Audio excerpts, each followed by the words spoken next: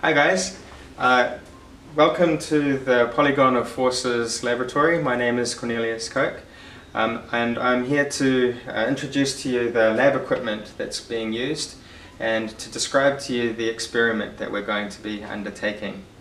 Alright, so a couple of things to be aware of. Um, we're going to be working with masses, so uh, there is a risk that these will fall and um, hurt your feet. So um, for this laboratory it's important that you must have covered shoes, so make sure that you're wearing those. Um, now for this experiment what we will be doing is we will uh, have a system like this, uh, this little ring and um, the idea of this experiment is that we will apply a force onto the ring, a force that we can measure and we'll try to um, apply three forces and we will see that the system will move to a position where we will get equilibrium. Um, so in this case here um, I have a ring. Um, I've tied on uh, three pieces of string onto the onto the ring itself. Uh, one short for the middle one and um, two longer ones for the for the sides.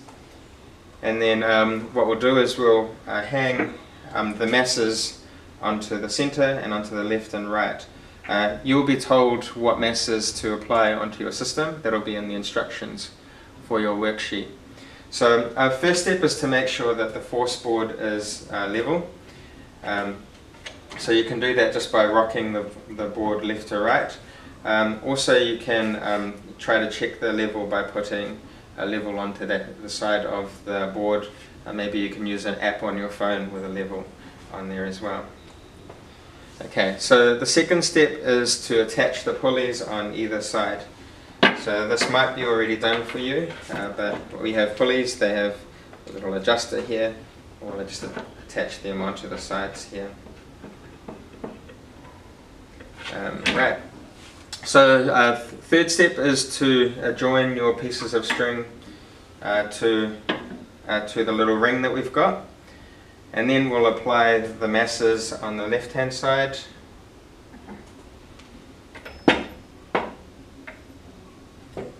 The center and the right hand side of the pulley.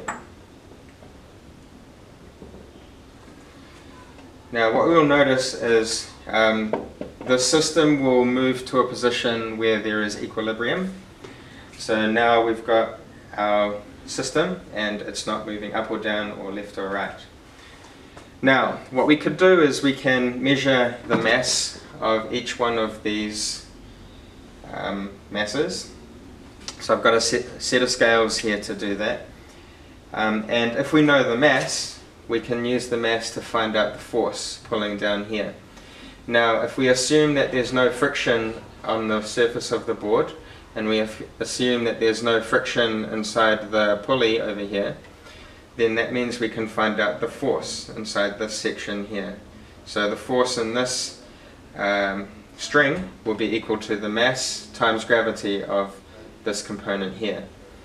The force in this string will be equal to the mass times gravity for this one and uh, so we use 9.81 for the gravitational constant. And over here we have the mass of uh, this uh, hanger and the masses, so we can take that, measure how heavy it is. We've got the mass, multiply that by 9.81, um, and then we'll use that to find the force. So that's the mass in kilograms, and multiplied by 9.81. Alright, so now what we need to do is we need to record um, the location of these strings and those masses. So I'd like you then to take a sheet of paper to attach a sheet of paper into the background.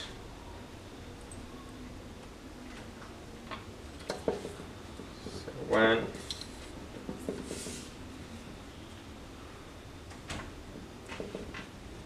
two, three.